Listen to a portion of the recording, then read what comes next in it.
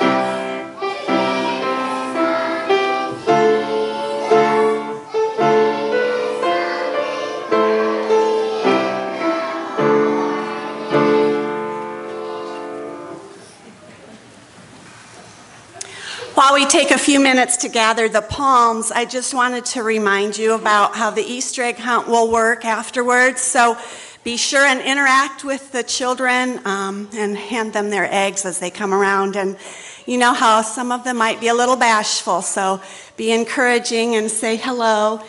Also, as we leave right now, after we sing and we go back to our rooms, if there are any brothers and sisters who would prefer not to sit in here for the rest of the service, they're welcome to follow us out and do the activities that we have planned for the preschool class. If they're not interested in leaving the sanctuary, there are coloring sheets and crayons just outside the sanctuary doors.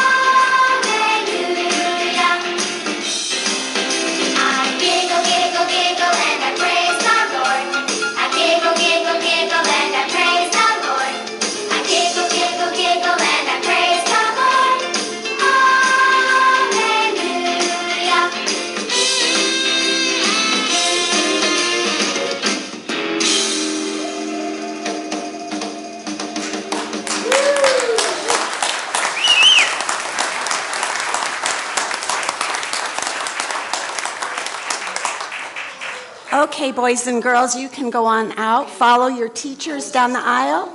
Thank you so much for everybody that was able to arrange to be here this morning.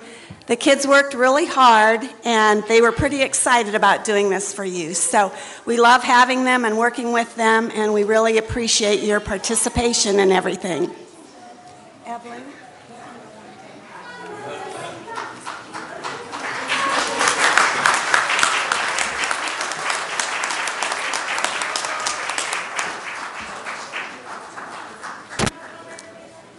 Want to thank uh, Carleen and all the teachers for all their work on uh, putting this together. And all the kids did a fantastic job, so thank you very much.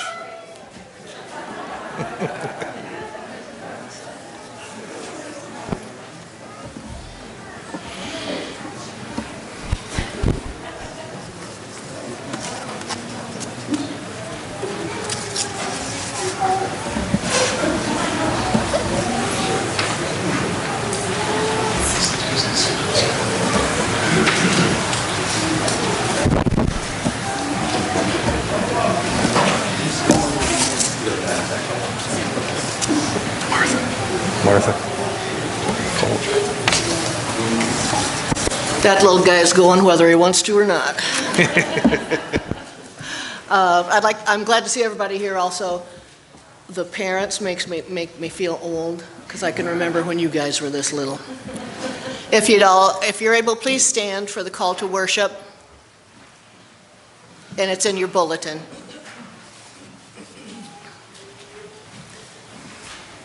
Honor, honor and praise. Honor, praise, and glory.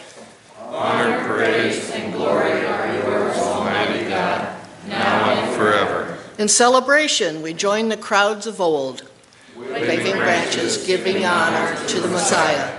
Yet, our celebration is bittersweet, for our story doesn't end here. We know the Pain of what lies ahead.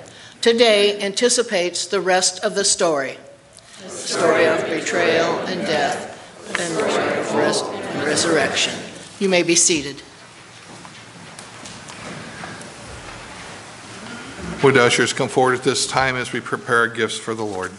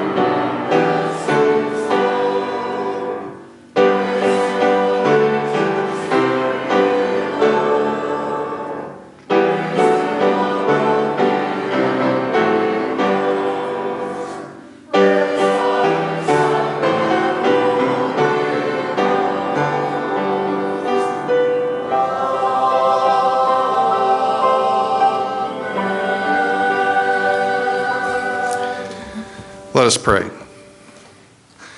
What can we offer you that you have not already offered us? What can we do that you have not already done for us? Lord Jesus Christ, in your gifts to us, you have provided us the way to live and to serve you. In both your triumph and your suffering, you deserve our praise. Through the gifts we offer, we express our longing to serve you and to follow you wherever you go. In Jesus' name we pray. Amen. Please be seated.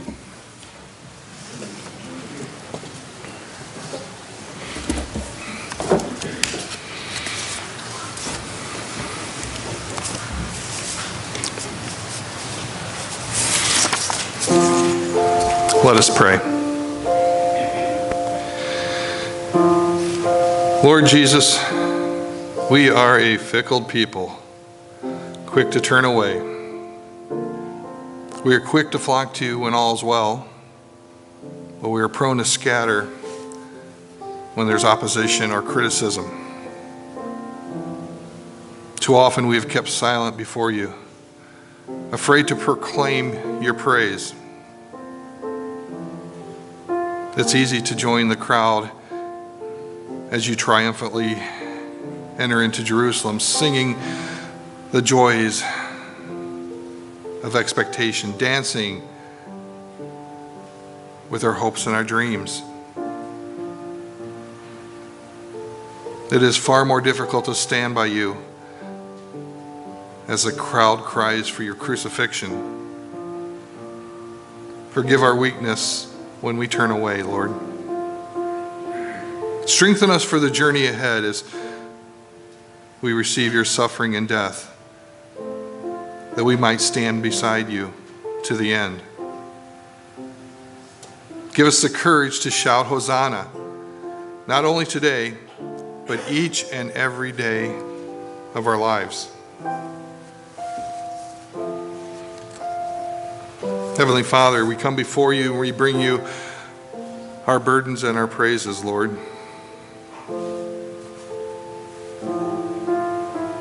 Father, we lift up the people of Ukraine and we ask for peace and healing. Lord, we lift up all those who have been affected by the virus and we ask for healing and an end to it.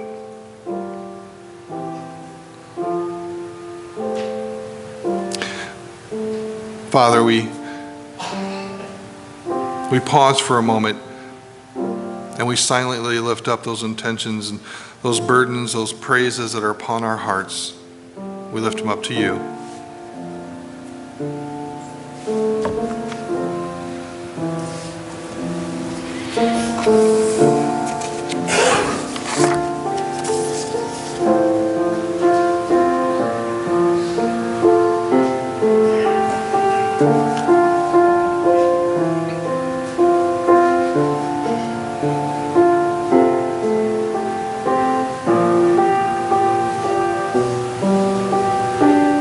Father, we thank you for hearing our prayers. Father, we come together as one family, one family in Christ, whether we're at home watching or we're here in the sanctuary. Lord, we come together and we lift up our burdens, we lift up our joys. And we do so as we pray together that prayer that Jesus taught us, the Lord's Prayer. Our Father, who art in heaven, hallowed be thy name. Thy kingdom come, thy will be done, on earth as it is in heaven. Give us this day our daily bread, and forgive us our trespasses, as we forgive those who trespass against us. And lead us not into temptation, but deliver us from evil. For thine is the kingdom, and the power, and the glory forever.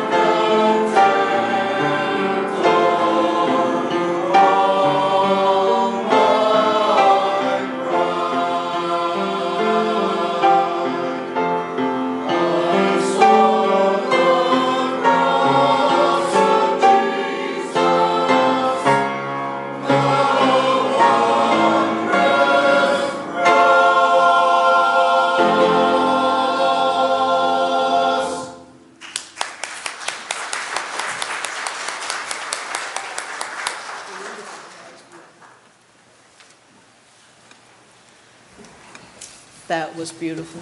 Thank you. Uh, If you're all able, please uh, stand for the gospel reading.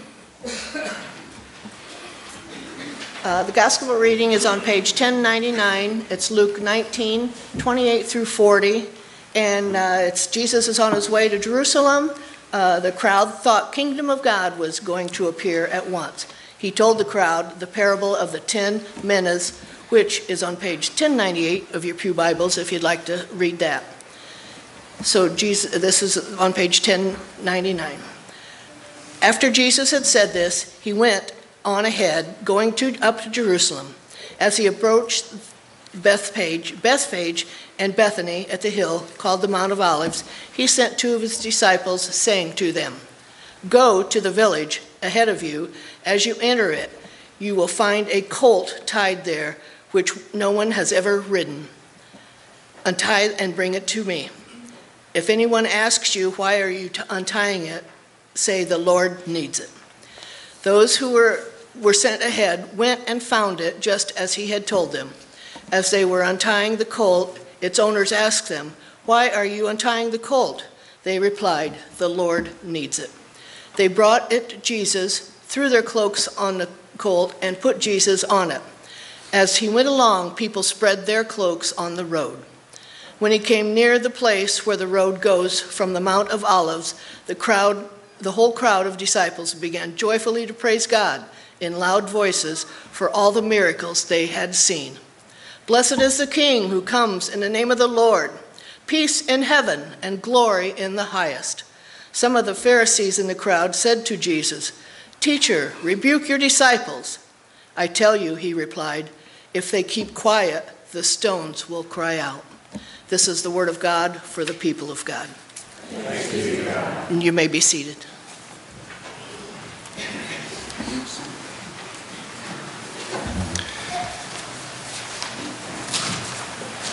It was Palm Sunday, but because he had a sore throat, five year old Sammy stayed at home from the church with a babysitter. And when the family returned home, they were carrying several palm fronds. And Sammy inquired what they were for. People held them over Jesus' Jesus's head when he, as he walked by, his father responded. He says, Wouldn't you know it, Sammy complained. The one Sunday I don't go and Jesus shows up. So this morning is Palm Sunday. And it's a day that we take from the gospel where the whole city throws Jesus' this parade. And as Jesus rode into the city, people threw the palm branches in anticipation of his coming. And that's where we get the word Palm Sunday. One of the things they did was they threw their cloaks down. Now, most people back then only had one cloak. So to throw it down on a muddy road where a donkey is going to walk over it, they, uh, they must have really liked Jesus. Uh, throw your coat down and then have to put it back on after that. This day is bittersweet for us because even as we read about the celebration, we know Friday's coming. The cross is coming. And we know that many in the same crowd, within a few short days, are going to exchange their words of praises for words of death, shouting, Hosanna, Hosanna, and then later shouting, Crucify him, crucify him.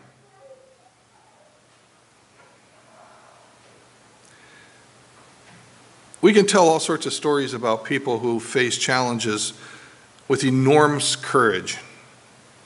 When you hear the word courage, who first comes to mind? Is it someone you know personally? Is it someone you read about? Perhaps a character in a movie? We could say people in Ukraine have great courage at this point. Who has embodied courage among the people of our community, of our nation, and of course our world? When we read the story about Jesus riding through the crowd, how can you not be awestruck about his courage. There he was. He was young, brilliant, gifted, probably right around 33 years old, had his whole life ahead of him. He was the Son of God, that long awaited Messiah. He was welcomed by his people as their king who had come in the name of the Lord. Yet, even as he heard the shouts and felt the celebration of the crowd, was he not keenly aware that the road that lied before him was not going to be a, a road of joy and celebration, but it was rather going to be a, a road of suffering and death? You think he was afraid? Why didn't he just stop the whole thing? Why didn't he just turn around in his tracks and go back to Galilee? Just avoid Jerusalem altogether? Why didn't he save himself? Because surely he could have. Surely God could have saved him from the suffering and death. Surely there could have been an, another way than that we hear of what happened at the Passion. The great evangelist Billy Graham has been quoted many times in saying that the greatest mission field in our country today are in our local churches. People already sitting in churches. I'm not sure where that statement is true or not. But one thing I know is that many people know what to say, how to say it, how to act. But when the rubber hits the road, they don't have that personal relationship with Jesus. They don't understand that without gaining that salvation, it's empty words. We see a perfect example this morning. On Sunday, Jesus rode to the city with the people shouting praises and praising God for the wonderful miracles that they had seen. They would yell, Blessed is the King who comes in the name of the Lord. And on Friday, they're shouting, Give us Barabbas. We want him. Crucify Jesus. Crucify Jesus. There's many possible reasons. One of the reasons could be that the words really don't match their heart. They possess a casual, not a committed faith. They had religion, but they were missing the person of Jesus. So, how can we have committed faith? How can we be real and sincere? Constant in all that we do. Well, this morning, I want to offer up some keys to such a faith. The first key is that a committed faith is not a self centered faith, it is Christ centered. And it sounds obvious, but we, we all miss it. In America, we tend to say, God, hey, uh, here's my calendar, here's my agenda. How can I squeeze you in here someplace? Pulling God out or turning to God only when it's convenient for us. In our passage, the people praising Jesus as he passed by, but many of them are praising him for two different reasons. One's because they've seen miracles. They saw Jesus heal the sick, they, some of them saw him raise the dead. And they praised him because he was serving them. Second, they saw Jesus as a, a political deliverer from the Romans to be set free from Rome as Israel was set free from Egypt. Their praise was tempered with an attitude of Jesus, what can you do for me? And a few days later at the trial, they'll see him beaten and disfigured. He no longer looks like a man who could deliver or conquer. So, as the words they said about him, they brought into all the lies and quickly changed their positions. It didn't look like the fellow that was going to be their savior to get them out of their mess. So at this point, it's all about me, me, me, me. At the parade, it was trendy to offer praise because everyone was doing it. But at the trial, to speak out again, uh, speak for Jesus was pretty risky and it might even be life threatening. Many of us come to Jesus expecting everything to go good. Maybe some slight bad, but not too much of it. So when the bottom drops out for us, we often ask God why, thinking it's not supposed to happen this way. If our faith is based on our situation and circumstances, it will never be committed. It always will be casual. In my life, I've gone to many Christian events, many packaged in large uh, arenas and stadiums. And at these events, praises for God rocks the entire arena with everyone. And when we're returning home, with everyone still glowing from the worship, we talk about how do we keep that, that spirit alive with us when we head to work the next day.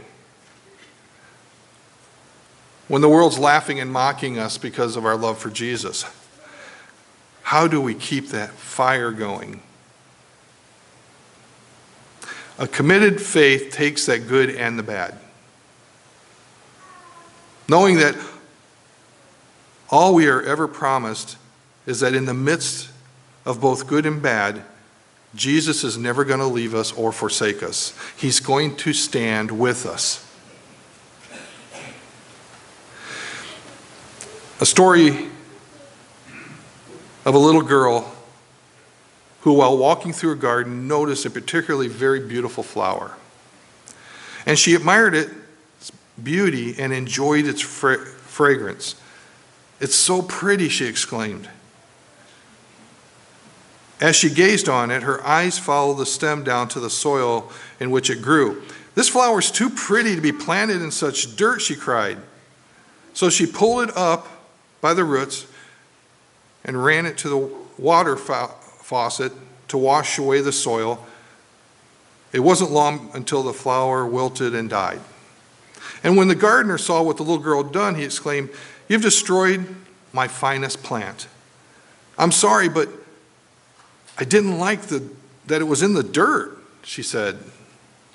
And the gardener said, I cho- chose that spot to mix the soil because I knew the on- that only there could be growth to be a beautiful flower. It had to come from that dirt. God has placed us exactly where He wants us. We must trust Him. In the trust, we eventually see that using our pressures, trials, our difficulties to bring a new degree of spiritual beauty. True commitment comes when we accept that God is doing and we thank Him for what He's doing in our lives. This morning, is your faith casual or committed? As we approach this week where Jesus suffers incredibly for us, a week where our sins, past, present, future, were all nailed that hung on those nails that hung him from the cross. Doesn't Jesus deserve a second look? Doesn't Jesus deserve total control of our lives? Doesn't he deserve a personal relationship with you? This week, consider all and choose to give it all to him. Jesus will walk with you through your lives and love you every second of every day. Life's a whole lot more fun when you know God and Jesus, Holy Spirit are on your side. Amen. Let's pray. Loving Father, we come to you this day shouting, Hosanna. praise to our Lord. Heavenly Father, we know what's coming ahead. We know Jesus is going to suffer for us. Lord, we thank you for that blessing. We thank you for loving us so much that you would go to that cross.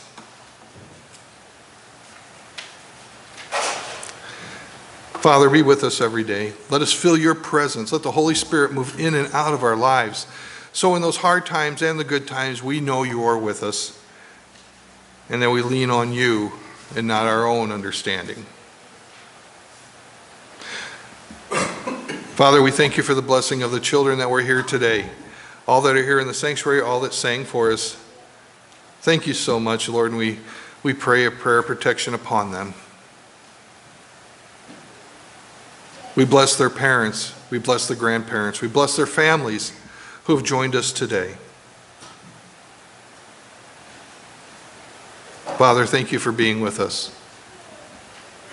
And we look forward to your resurrection. In your son's name we pray. Amen. If you would, if you're able, would you please stand as we sing our ending hymn, Ah, Holy Jesus.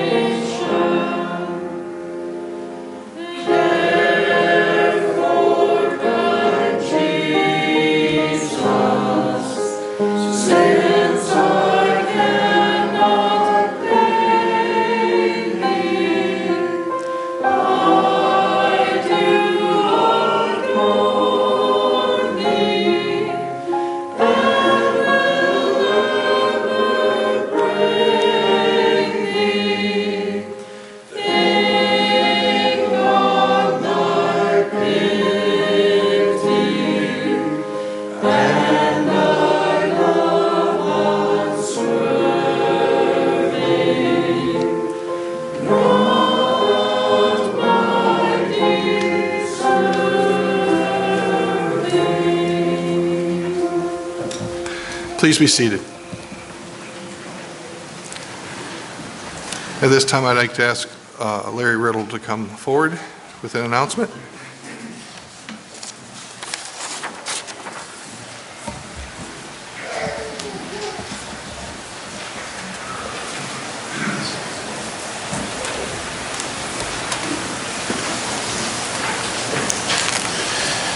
Good morning.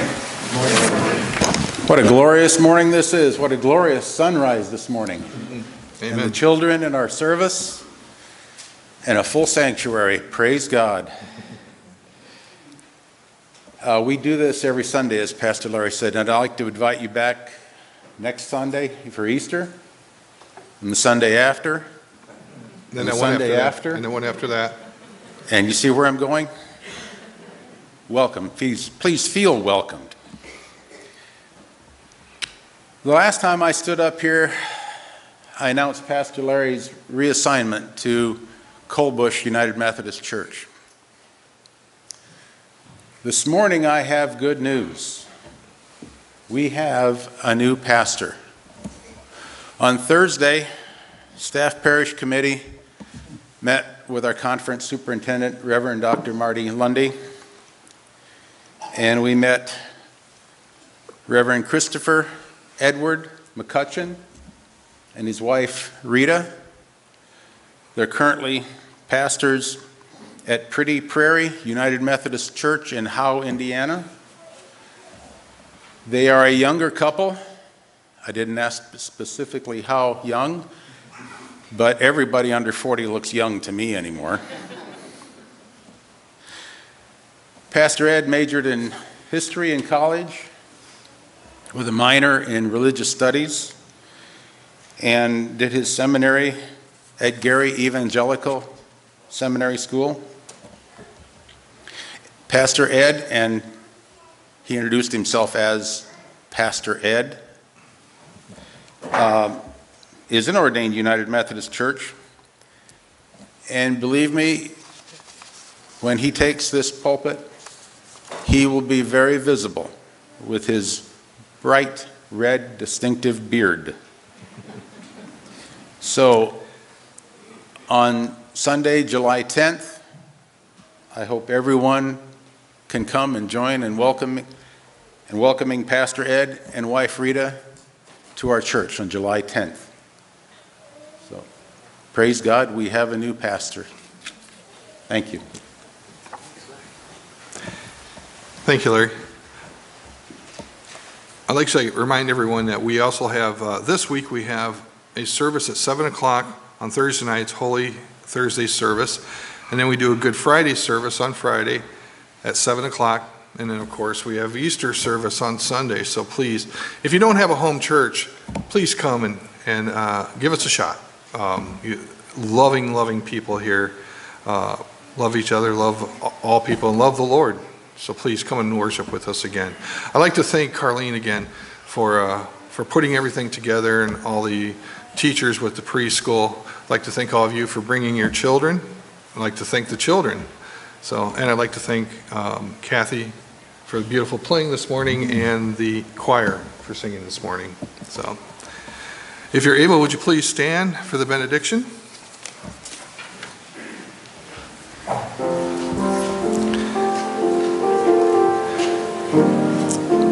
Passing from joy into sorrow and onto elation, we come to the Christ on this Holy Week. Today is only part of the story. Jesus' triumph leads us to his death, his death to his resurrection.